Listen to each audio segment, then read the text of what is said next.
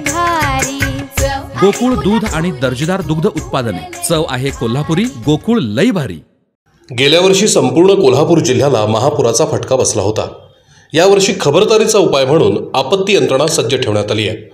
आज जिल्हा आपत्ती व्यवस्थापन अधिकारी प्रसाद संगपाळ यांच्या नेतृत्वाखाली पंचगंगा नदीमध्ये आपत्ती व्यवस्थापन विभागाच्या वतीनं प्रात्यक्षिकं सादर करण्यात आली. यावेळी प्रांताधिकारी वैभव नावडकर तहसीलदार शीतल भामरे उपस्थित होते.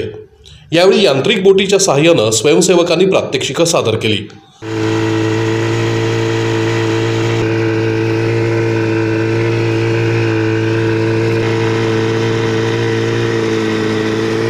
संभाव्य पूर परिस्थितीचा सामना करण्यासाठी जिल्हा प्रशासन सज्ज असल्याचा विश्वास यावेळी प्रसाद संगपाळ यांनी व्यक्त केला.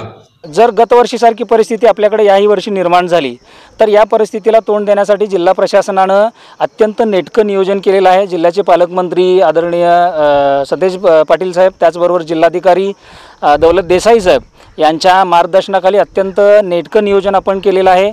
आपल्याला आवश्यक असणारी बोटींची संख्या आपल्याकडं राहील.